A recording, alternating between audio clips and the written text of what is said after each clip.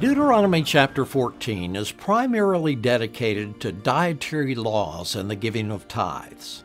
The children of Israel were given specific instructions about the consumption of land animals, marine animals, birds, and insects. Then in verse 22, the topic shifts to tithing and provisions for the priest.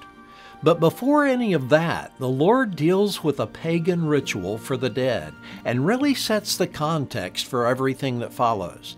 Listen to verses 1 and 2.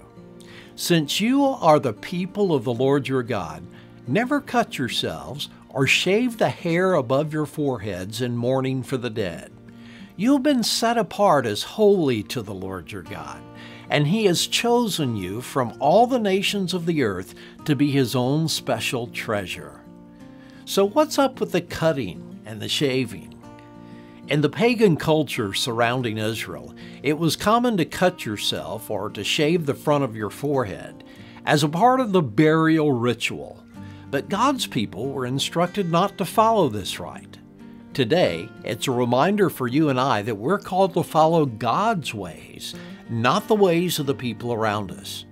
See, to the world around us, death is the end. It's hopeless. But as believers, we're not to sorrow as those who have no hope. Our hope is in the finished work of Jesus, and that heaven awaits us when this life ends.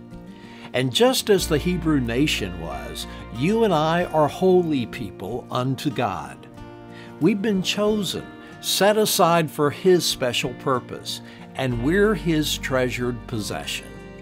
And that's my hope for you and I today as we continue daily in the Word.